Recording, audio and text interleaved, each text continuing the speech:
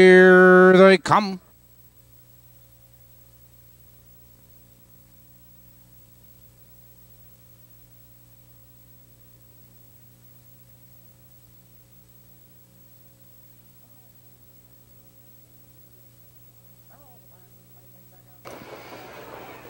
Errol Fan pacing there goes Fabian Blue Chip going for the lead on the inside. Pericles is there. Into the turn they race and Fabian Blue Chip now takes command of length and a quarter. Pericles is right there in second. Noble Statesman first over on the outside. Park third. It's Max Falcon right there in fourth. Two lengths Raven Ability followed on the inside. Coca-Cola Gene Machine and now trailing that's Raised Cash and on the inside it's Fabian Blue Chip and on the outside Noble Statesman Van 28 and 3 the quarter. It's a battle up front with Fabian Blue Chip. On the inside, Noble Statesman. Alongside a challenging second, Pericles is right there in third, Max Falcon. Now moving to the outside, Raven Ability, followed by Coca-Cola and Gene Machine as they head for the half. It's Fabian Blue Chip on the inside. Noble Statesman is alongside a challenging second, Pericles is right there in third. On the outside, Max Falcon, Raven Ability.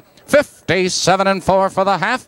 Into the clubhouse turn and Raven, your leader, Fabian Blue Chip a length. On the inside, it's Pericles right there in second. Noble Statesman is on the outside third. It's Raven Ability right there in fourth. Max Falcon, he's moving up three wide. Now they curve into the backstretch and Fabian Blue Chip maintains a lead on the inside. Pericles, here comes Max Falcon, three wide third, moving to second on the outside. It's Pericles right there in third. On the inside, Raven Ability looking for racing room. On the far outside, that's Gene Machine. But around the turn, it's Fabian Blue Chip with the lead. On the inside, that's Pericles. Here comes Gene Machine for wide. Here they come turning for home. It's Fabian Blue Chip with the lead. Here comes Pericles and he's out for the drive. Hostetler going to the whip. It's Fabian Blue Chip with the lead and Pericles. It's all Fabian Blue Chip, Pericles and Raven Ability.